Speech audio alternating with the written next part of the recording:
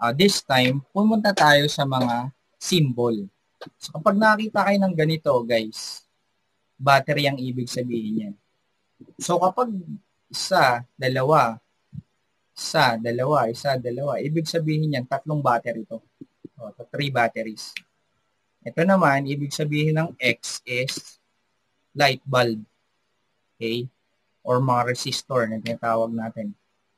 Uh, this one is the resistor na tinatawag natin. Okay, pag ganyan na, pag ganito bulb, pag ganito resistor. Next is cell. Ayan. Yung mas mahaba is positive, yung mas maikse is negative. This one is volt, voltmeter. Ito naman, ammeter. Familiarize nyo yung sarili nyo kasi mamaya pag gumawa kayo ng diagram, ng schematic diagram ng electrical connection, kakailanganin nyo sila.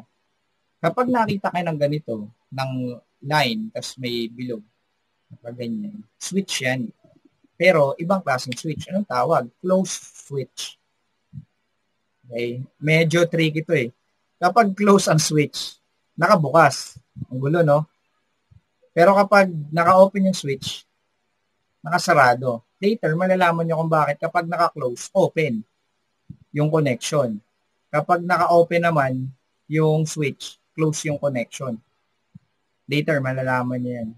Okay, o ito, this is an open switch. So, isang diretso lang. Ito, open switch. So, kaya siya open, yun, naka-open. Ito naman is what you call the conducting wire. Ito yung wire mismo. Nakita kayo ng linyang ganyan, wire ang ibig sabihin.